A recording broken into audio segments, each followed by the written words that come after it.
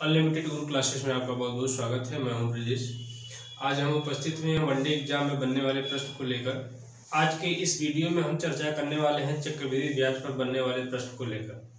कि चक्रवृद्धि ब्याज पर किस तरह के प्रश्न बनते हैं। तो यहाँ पर देखिए एक प्रश्न लिया गया है कि कोई धन पाँच वर्ष में चार हज़ार पाँच सौ रुपया हो जाता है। कोई धन पाँच वर्ष में चार हज़ार पाँच सौ रुपया हो जाता है तथा दस वर्ष में, दस वर्ष में छह हज़ार सात सौ पचास रुपया हो जाता है तो वह धन ज्ञात कीजिए। तो इस प्रकार का प्रश्न जो है कि आपके एग्ज़ाम में बनता है तो इसको सॉल्व करने के लिए आप कैसे इसको बनाएँगे, एग्ज़ाम हॉल में आसान विधि से इसको देखेंगे। तो पहले हम इसका फंडामेंटल समझ लेते हैं कि कैसे यह होगा। तो आइए देखते हैं इसका फंडामेंटल। पहले हम समझते हैं कि किस प्रकार हम इसको बनाएँगे। हम, हमारे पास धन यक्ष है।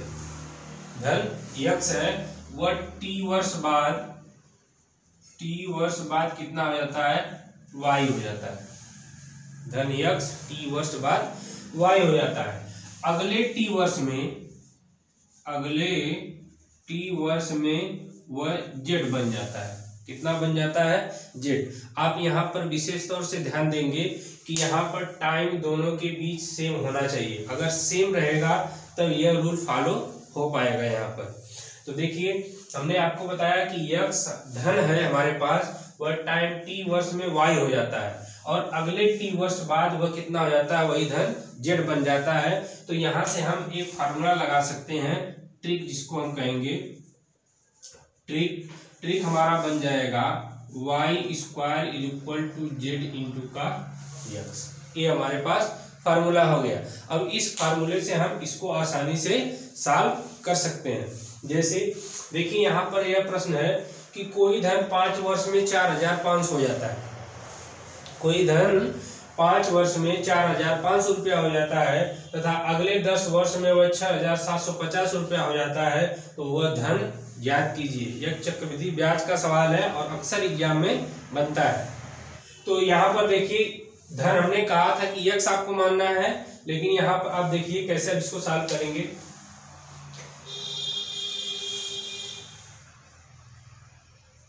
धन यक्स है। धन कितना है? यक्ष है। पाँच वर्ष में, पाँच वर्ष में कितना हो जाता है? चार हज़ार पाँच सौ रुपया हो जाता है। तथा दस वर्ष में, यही धन अब दस वर्ष में, दस वर्ष में कितना हो जाता है? छ हज़ार सात सौ पचास रुपया हो जाता है।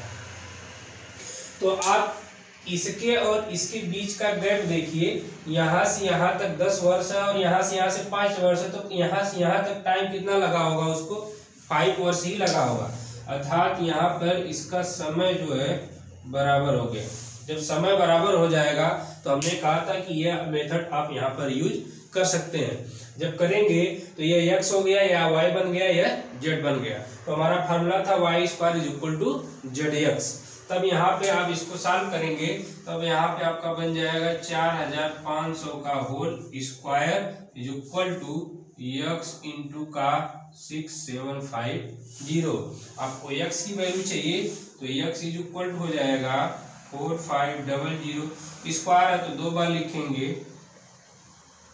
टू टाइम हो जाएगा अपान का सिक्स सेवन फाइव ज़ीरो एक ज़ीरो ये देखिए ज़ीरो से कैंसिल हो जाएगा। आगे इसको सॉल्व करेंगे तो यहाँ दो ज़ीरो, एक ज़ीरो इसका। कितने ज़ीरो हो जाएँगे? तीन ज़ीरो। और यहाँ फोर्टी फाइव बचेगा, यहाँ भी फोर्टी फाइव बचेगा। तो फोर्टी फाइव का स्क्वायर आप जानते हैं कि आपका बन जाएगा बीस और पच्चीस। होल अपान का six seven five six seven five इसको आप कैंसिल करेंगे तो ये तीन बार में कैंसिल हो जाएगा। तो आपके पास आंसर आ जाएगा तीन हज़ार रुपए। तो वह धन कितना था आपके पास? तीन हज़ार रुपए था। क्लियर है?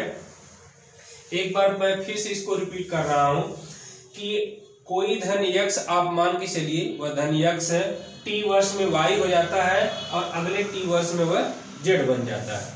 अगर यहाँ पर टाइम पीरियड सेम दिख रहा है आपको तो यहाँ पर ट्रिक के माध्यम यूज़ कर सकते हैं। Y square equal to Z X तो वह धन आपको आसानी से ज्ञात हो जाएगा। जैसे यहाँ पर सवाल लिया गया था, कोई धन पाँच वर्ष में चार हज़ार पाँच सौ रुपया हो जाता है, तथा अगले दस वर्ष में वह छह हज़ार सात सौ पचास रुपया हो जाता है तो वह धन ज्ञात करना था आपको। तो यहाँ पर देखिए, हमने धन को यक्ष मान लिया था, यक्ष, और पाँच वर्ष में वह चार हज़ार पाँच सौ हुआ, चार हज़ार पाँच सौ। उसके बाद अगले दस वर्ष में, वही धन अगले दस वर्ष में यहाँ से काउंट करेंगे टाइम पीरियड को। दस वर्ष में छह हज़ार सात सौ पचास हो जाता है। तो इसके इसके बीच लगा समय कितने वर्ष होगा? फाइव वर्ष ही होगा।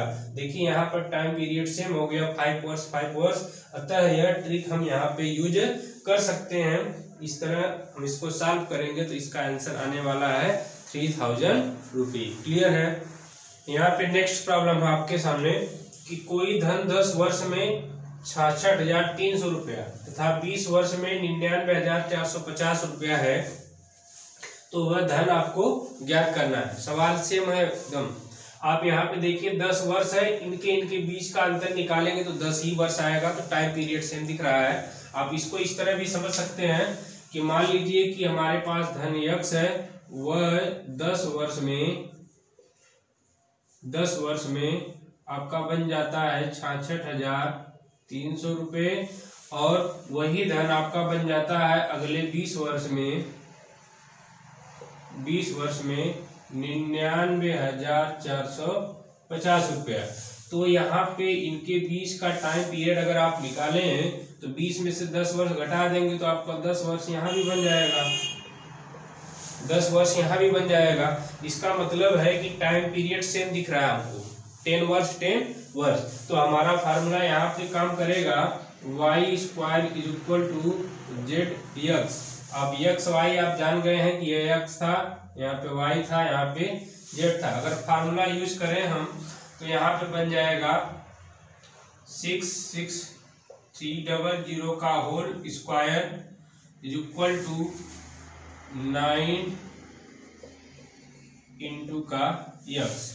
अब यह यक्स की वैल्यू हमको फाइंड करना है डिवाइड में हो जाएगा तो यक्स इज़ इक्वल हो जाएगा double zero upon nine nine four five zero into यह स्क्वायर है तो इसको हम दो बार लिखेंगे। इतना बन जाएगा। इसको कैंसिल आउट करके सॉल्व करेंगे, तब आपका आंसर बन जाएगा चौवालीस दो सौ रुपये क्लियर है? यहाँ पे देखिए थर्ड एग्ज़ाम्पल है। बहुत ही इंपॉर्टेंट एग्ज़ाम्पल है यहाँ पर। आप कैसे इसको बनाएँगे एग्ज़ाम हॉल में? उन्नीस सौ चौरासी में एक मशीन का मूल्य चार सौ रुपये था। उन्नीस सौ ईस्वी में एक मशीन का मूल्य चार सौ रुपये है। और कह रहा है कि उन्नीस सौ अट्ठासी में वह नौ सौ रुपया हो जाता है। उन्नीस सौ अट्ठासी में वह नौ सौ रुपया हो जाता है। तो उन्नीस सौ छियासी में मशीन का मूल्य क्या रहा होगा ये आपको फाइंड करना है। तो देखिए इसको आप कैसे बनाएँगे? तो यहाँ पे जितना ईयर दिया, दिया गया आप उसको नोट डाउन कर लीजिए। यहाँ पर देखिए उन्नीस सौ चौरासी से स्टार्ट है। उन्नीस सौ चौरासी, फिर उन्नीस सौ छियासी है, फिर आपका है उन्नीस सौ अट्ठासी, उन्नीस सौ अट्ठासी। अगर आप देखें तो इनके बीच का गैप दो वर्ष आ रहा है। दो वर्ष। इसका मतलब यह है कि यहाँ पर टाइम पीरियड सेम है।